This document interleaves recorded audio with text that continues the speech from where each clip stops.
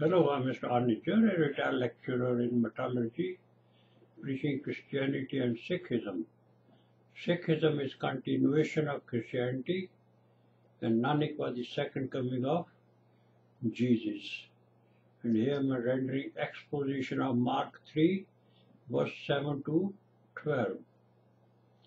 Jesus withdrew towards the, toward the sea with his laboring, twice born brethren, and not the once born, spiritually blind disciples of the rabbis. Remember that Saul was the disciple of the Rabbi Gamaliel, and he obeyed him blindly, although his although his subconscious was saying what he was doing is wrong, persecuting the laborers of Jesus. But as it was the orders of his rabbi, he must obey as a good disciple. Otherwise, he will say, this not a good student who disobeys me. So, disciple, Jesus had none, you know.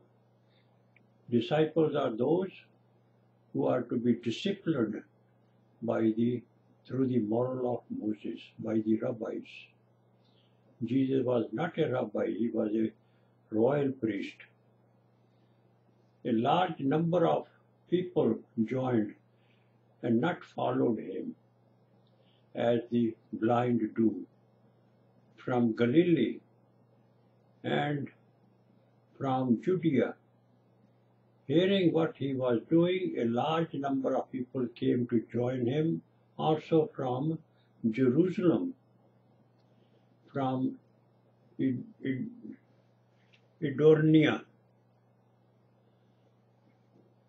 sorry, Idumea, uh, from beyond the Jordan, and from the neighborhood of Tyre and Sidon. He told his laboring brethren and not the disciples to have a boat ready for him because of the crowd, so that they would not crush him. In fact, Christ in our, in, in our heart should be made the captain of your life. This is the boat, you know. This boat is metaphor, you know, Jesus is using.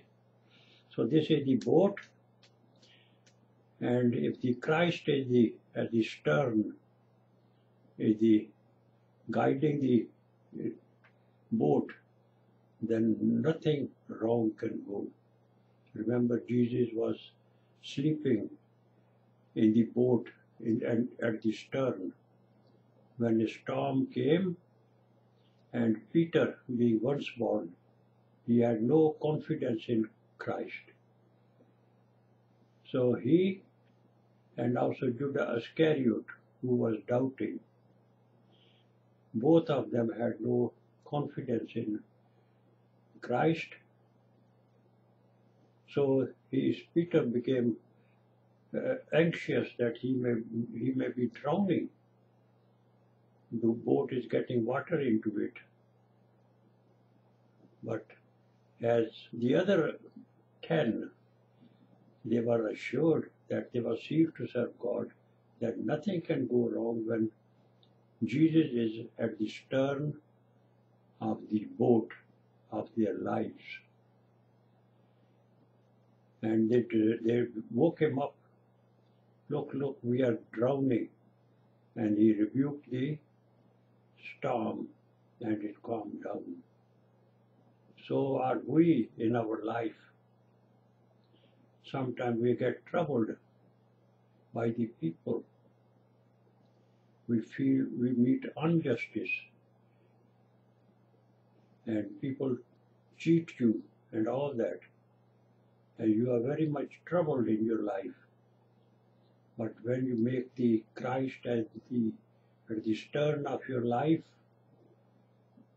then you overpower them, you cool down, calm down. Because everyone has to give his own account to God. So if somebody cheats you, he may be thinking he's clever, but he has lost his place in the royal kingdom of God. because no unrighteous person can enter through the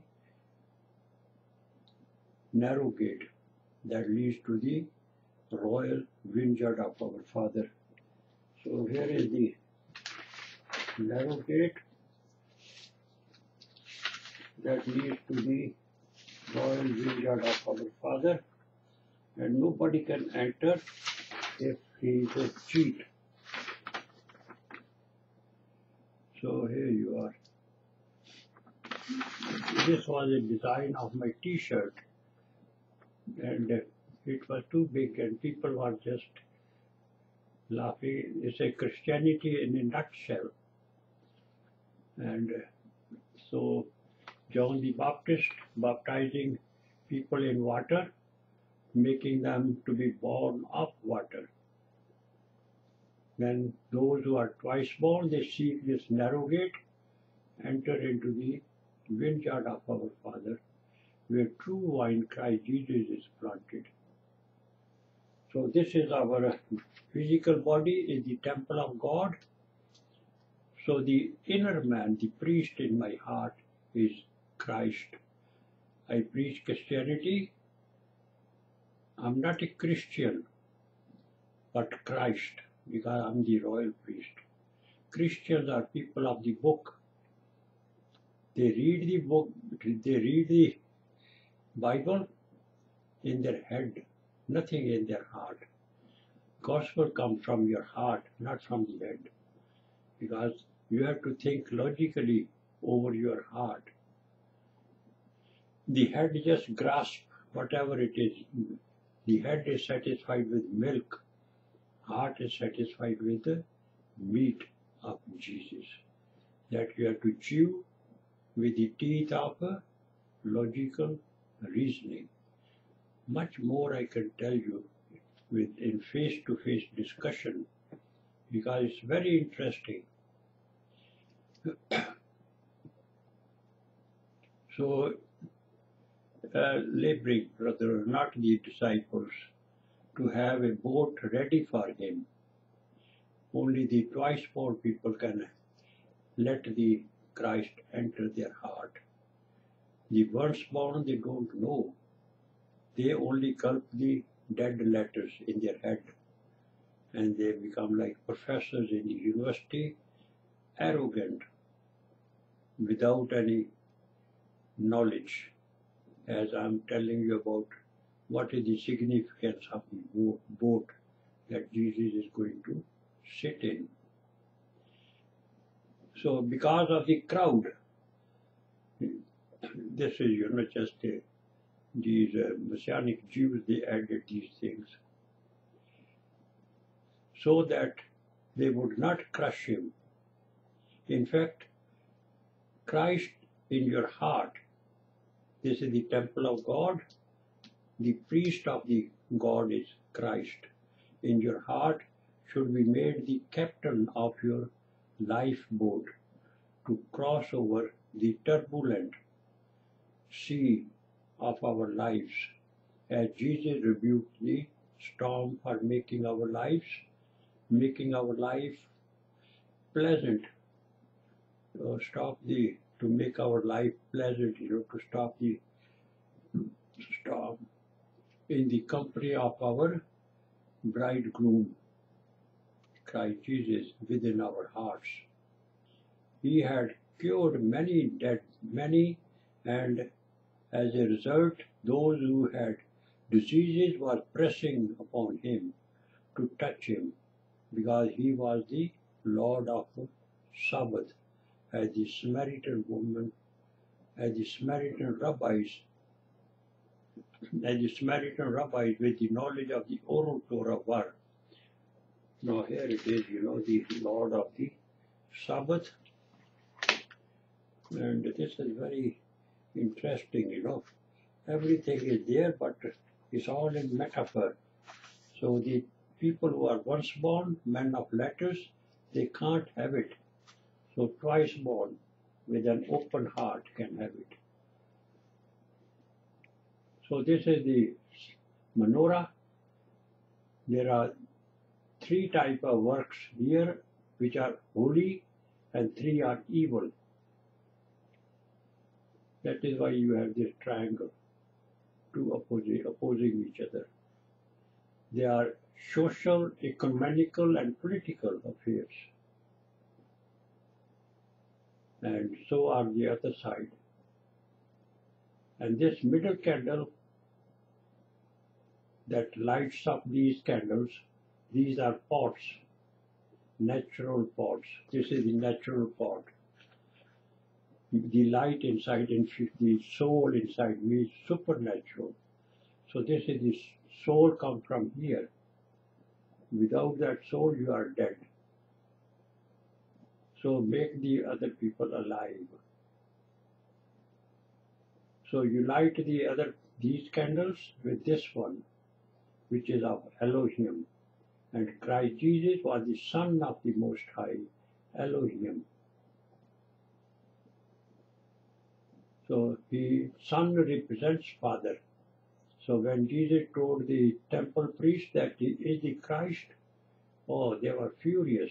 They said, for breaking Sabbath we won't kill you, but for proclaiming that you are the Christ, mean the very Son of God, we must kill you. So he is the Lord of the Sabbath because without him they are dead. This is the oral Torah. Oral Torah is the Lord of the letters. Letters are dead letters. So that is why, you know, Jesus said the least in the royal kingdom of God is greater than John the Baptist. So here is the six candles works John the Baptist, ideal rabbi. Here is the saint, the sons of the Most High Elohim, as Jesus was royal priest. They are here. They are priest here. So the least in the royal kingdom of God is greater than John the Baptist. He is the saints are Lord of the Sabbath and so was Christ Jesus, Lord of the Sabbath.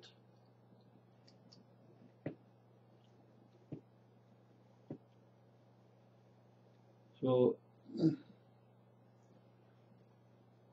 he had cured many, and as a result, those who had diseases were pressing upon him to touch him because he was the Lord of Sabbath. That is what these uh, rabbis, when they were good, they were doing, curing people without any problem. Samaritan, as the Samaritan rabbis, with the knowledge of the oral Torah were, Samaritan rabbis, they were perfect. They had the knowledge of the old and the new prayers. Matthew 13 verse 52. They were ideal rabbis and being having the knowledge of the oral Torah, they were united. They were no different. They were solid, although they were solitary, but of one accord. Whereas these Jewish rabbis, they had no knowledge of the oral Torah. Oral Torah knowledge was missing, so they were blind guides of the blind. Because oral Torah is the light, is the light of the written Torah or the root of the written Torah. So the rabbis, Jewish rabbis, they were spiritually blind, leading the blind into the pits. And that's why John the Baptist called them brood of vipers, because they were fighting with each other. Pharisees, Sadducees, Essenes, this and that. Among the Samaritans, there was no no divisions. They are, although they were solitary, but of one accord. No viper among the Samaritan rabbis. Uh, with the knowledge of the oral Torah, and whenever unclean spirits, the hypocrites, you know, the unclean spirits mean people who bring darkness among the, like these temple rabbis and other people. The darkness is only over, overpowered by light. So Jesus was the light, Christ in his heart. So unclean spirit mean those who were creating darkness, as the Messianic Jew did by killing the apostles. Light came among his own, and his own loved darkness. So they were putting apostles before the animals to be eaten alive. And they put on these uh, robes and other things. As today you see this uh, Pope and other body putting on these robes.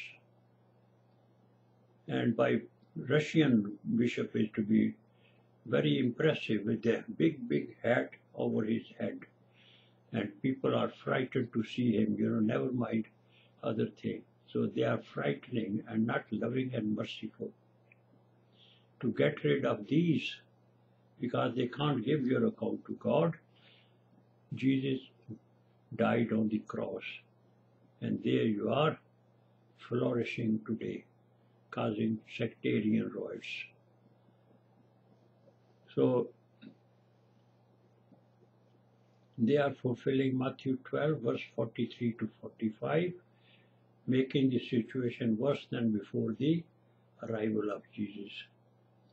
So as the Samaritan rabbis with the knowledge of the oral Torah were, they were united. And whenever unclean spirits, the hypocrites that bear evil fruit, saw him or confronted him, they would fall down before him as they do in front of me. When I ask them questions, I go to the Oxford universities, you know, and over there these professors, they are knowledge of the written Torah in their head, nothing in heart. They can't think logically in their heart because everyone thinks differently. It will create problem for them. So they everything written down in ink on paper is okay. That's scripture milk. So they, they give it to students, they just gulp it without understanding. For example, John the Baptist said, I am baptizing in water. The one coming after me will baptize in Holy Spirit. But today you see them baptizing children, women, Gentile, Samaritans. Jesus, the, John the Baptist never baptized anyone else than Jewish men. No woman, no Gentile or Samaritan was baptized. And Jesus laborer did not baptize anyone because Jesus himself did not do it. And they belong to our inner self, inner self which is spiritual. Spiritual has no physical body. So it doesn't, there's no need to baptize spiritual one in water, but in Holy Spirit. That is the soap that cleanse your heart. This soap, you know, you use to clean the clothes which is you use water to then get rid of the dirt and same way this soap which is needed to clean your heart is his word. Without his word it cannot be cleansed. So he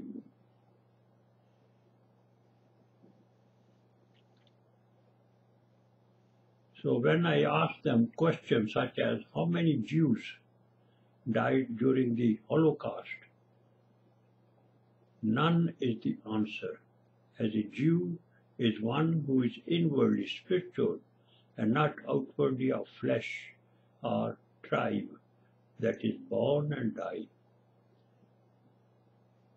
And shout, You are the Son of God. The evil spirit, they know, you know, that he is the Son of God. As the temple priest, when Jesus was giving them the parable of the wine press. The Jerusalem temple is the wine press where the old wine was brewed, moral laws. but they were corrupting it. So they son, sent the son, go and get the fruit. So the temple priest knew he is the son who is who has come to take the account and they were very much upset because that parable was point hitting them that was the last parable he warned them sternly not to make him known because he was the son of Elohim and these rabbis had warned their disciples not to mention or write his name in, write his name. You know, these uh, rabbis, they told, don't write the name of God. When they write Yahweh, they miss a letter. Now, greater than Yahweh is Elohim. Oh, they won't allow him to allow them to read, write his name, you know. So that is how they were fright, frightening their disciples. And when Jesus proclaimed that he is the very Son of Elohim, oh, they were more furious. So that's why he warned his laborers, his brothers, not to mention to the temple priest or anyone that he is the Son of the Most High, because it will cause problem for them.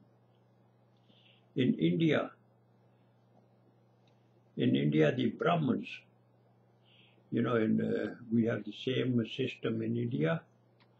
And these Brahmins, you know, they are same as the rabbis.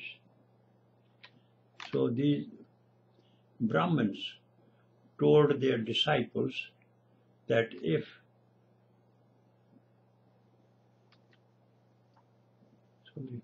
if a if a once born Shudra proclaimed Ved, Ved mantras then he should be caught and molten lead be poured into his ears. So this was there.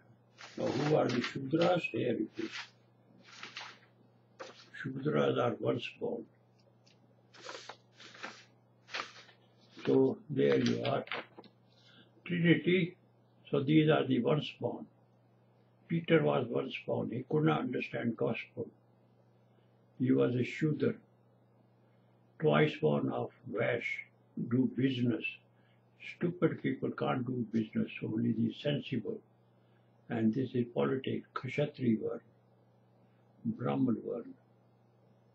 So Shudra, this one, if he hears the mantras and his utterance from his tongue, he can make mistake, you know. Then the Brahmins told them, that such a person should be caught and molten lead be poured into his ears so that he do not hear anything, making them dumb and mute. Remember Jesus loosened the tongue of the mute and dumb. He healed them with his with his spittle whatsoever you drink with from the mouth of Jesus, you become like him. So that's why he was opening the uh, tongues. You remember there was a one dumb man who was stammering, who wanted to speak something, but he was he was rabbis won't allow him to do it because they were under the thumb of the rabbis. So they brought it, him to Jesus and he encouraged him to speak. So he started speaking clearly after Jesus had healed him.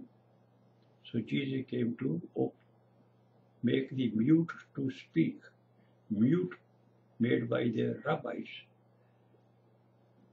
So they can, from, from the yoke of the ruling rabbis, they were set free by the sacrifice of Jesus. Hope this will make clear and much more come to you through revelations. Nobody can get gospel by reading books or other thing. It is only by grace of our Father you get it through revelations or through logical reasoning. The end product of logical reasoning is logo and logo is His word. So our Father God blesses you.